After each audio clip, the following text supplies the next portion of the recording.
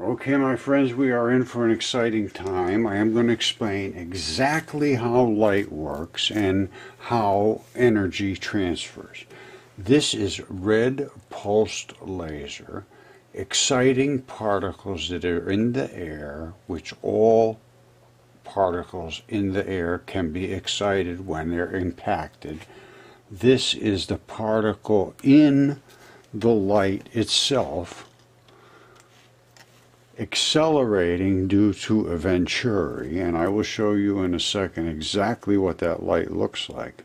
But you can see that it is accelerating and it is the white is is is moving away from the black and I'll show that in a second because light is a dipole it has a positive as a negative. But the negative part is explosive. The positive part is a carrier. I'm going to explain it to you. You can see fields surrounding the spinning polarized central dipole. And that's why it has pulse, pulse, pulse, pulse, pulse as it spins coming forward. And this is Cherenkov radiation. This is a particle nobody has any clue about. Apparently, I believe that's antimatter, and that is antimatter converting into matter. I'm no clue at this point. This, I'm going to show you a better shot of this, is the slowing down electron. Well, it's a photon. Now, this is what photons are like. They're back-to-back -back electrons. Like, I believe there's four of them in a box. And as they come through space, they get tipped off and they spin. Tipped and they spin and spin and spin and spin. And that's what creates the different particles that we are we are actually looking at. That's what they are right there. Now over here shows that light can can be accelerated. You see the space between here? And then it slows down. You see the space right there. And we can see that it's spinning to the right, means it drifts to the left. Now, let's take a look at this. All right, these are exactly the same as the red, only green is a more powerful laser. And they only show up for a couple clicks here, you know, like two waves, and then they're they settle down to like flat disks. Happens in red and green. This is where it gets extremely interesting. You saw these particles come and zip through there. Now, what do you see here? You see the little black spots. You see them, black spots, and they're touching each other. They don't care about touching each other. They're, they're fine doing that. They get away from the white ones which here I'm showing as red, but they, they're exploding, concussing because they're being forced through a venturi, which means that the region they control, which is way out here, and the, the, the actual particle, you can't even see it, but the region is huge, and they're crushed into each other, so this is the explosive, and the black parts just walk away, and then they come back in later. That is the most interesting of this because that shows me charge separation, explosive white from the docile black carriers. Exploser, exploders and just the ones that carry them. You have to have a positive with a negative, but they are only the same one electron volt until they concuss, and then white can go to, I don't know how high it can go. Depends on how hard it hits and how hard the thing it hits. Okay, my friends, it's Roger once again, Mudfossil University today with an absolutely wonderful time I am going to present to you. And by the time I'm done, it shouldn't take more than 10-15 minutes, you will be smarter than Einstein, Hawking, Hubble, Bohr, and all the rest of them, because they were all wrong about the atom and about the molecule and the electron and the whole nine yards. Now, when you're done today, you'll understand gravity, you'll understand dark matter, dark energy, how light travels from the sun to the earth, why the corona of the sun is millions of degrees and the surface is only 6,000, why the earth is only 80 or 90 degrees on the surface, and our magnetosphere, ionosphere, is thousands of degrees. You'll understand how gravity works. You'll understand how the nucleus of atoms is truly constructed of tiny particles, which are electrons. Not protons and neutrons, because there are no protons and neutrons. There are just masses of electrons. It's called electron flood theory, and we will go over it in extreme detail. And it's only going to take a couple of minutes because it's extremely simple. It's just been totally misunderstood. So let's get started with why Hubble and Einstein and all the rest of them were wrong.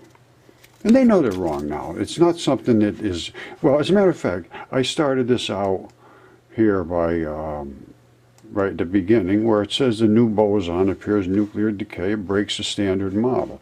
And then it goes into, uh, here they are at um, the Royal Institute, and she's saying that there's... Days and lepton universality seems to be violated. Well, what that means is that there's something wrong with the standard model. As we found the crack, finally, in our understanding of particle physics. There's absolutely no way that we can explain this observation with our current understanding. All right, and, and, and, there is no way because they don't understand it, and they still don't understand it, and because they think they're so smart, they're not even going to think that it's the the tiniest particles are the reason they're, they're finding debris that they can't understand. Not that there's some other debris in there that they didn't understand. They just they have seen all these little particles. They say we see these tiny little particles. We know they're there. All these different positives and negatives and so forth. They're just different pieces of the same particles. And the same particles are electrons. Electron flood theory says the only list of particles there is is electrons. Case closed. Now, those are weak and strong dipoles. Right, here's an electron right here. It has a black spot and a powerful spot, a white spot. I'm showing it red. And that's sitting at rest. When it concusses, the white, which is the red down here, explodes and the black just doesn't do anything. It's like a carrier. Now, so those are electrons. Now you glue electrons together and you end up with protons right here, back to back electrons. The stable electron masses become atoms. So when you take a bunch of things and you put them together and then they sit there and they don't fall apart and they don't just decay, they're atoms and they're molecules. All right, groups of molecules is matter. All right? Now, you just understand now the true nature of everything there is. And helium and hydrogen are so small and they have so few particles in a certain square mass that they are not magnetically pulled to Earth. And when I say magnetically pulled to Earth, you say, well, why would they be magnetically pulled to Earth? It's because everything that has electrons is sucked to the Earth because the Earth is a generator. I'm going to explain exactly how that works. It's extremely simple. And you have to understand that surrounding our solar system and everywhere in our solar system, it's like a soup of electrons. Well, what does that mean? That means that our Earth is spinning through with our electrons in the soup of electrons. We are a generator. We spin pushing against those particles. They push against us. That creates a magnetic field straight up through the north, uh, from the south to the north, and that is what creates gravity. It pulls anything with electrons to the Earth if you're if you strictly have lightning or electricity that has only electrons, it goes to Earth and destructively because they have to incorporate with the electrons of the Earth and the material there. If it's a chunk of something and you drop it and it hits the Earth, it doesn't have to incorporate its electrons. It's not solid electrons. The more in the mass, the harder it hits the Earth, obviously. So gases and so forth don't do anything. Hydrogen goes up because it doesn't have enough particles in the same square inch They go up in the air. And this is what they look like when you start putting them together and looking at what they look like. Positives and negatives, as I showed you, that's an electron at rest. Positive and negative. Now, when they sit together like this, the positives will go, they'll be forced towards the center because the negatives, which is the red ones, are the concussive, explosive ones, they push each other away from each other. They will end up having a positive core because they don't mind being up against each other. They're just carriers. They're happy being each, each other. Then they will push away electrons into the lowest orbitals and then higher orbitals, and they get more and more complex with more and more particles in the same size space. So it's the mass is the quantity of electrons per square inch at a set temperature at a set altitude, which is the compressed space. Now, excess electrons in that same space is heat. You're forcing the electrons into that space. It creates heat. That's all it is. You suck the electrons out, that's cold. When there's no extra electrons in there, that means it's literally frozen. And there's st- stability because there's no extra electrons pushing anything around. Simple as that. Tesla had it exactly correct. Vibration is is uh, everything. All right, now don't forget, this is what CERN is talking about. They're taking huge chunks of things and slamming them together in a super collider. And all of this debris is flying everywhere. And they're looking through and they're saying, oh, we're seeing some of these up quarks and down quarks and leptons and a positive charge and a negative charge. And they're seeing these little bits and pieces. And they see them on such a regular basis because they are the fundamental particles. Yes absolutely. However, they're in addition they're finding other particles that they can't account for because these are not different particles. Everything is made of electrons, as I have shown.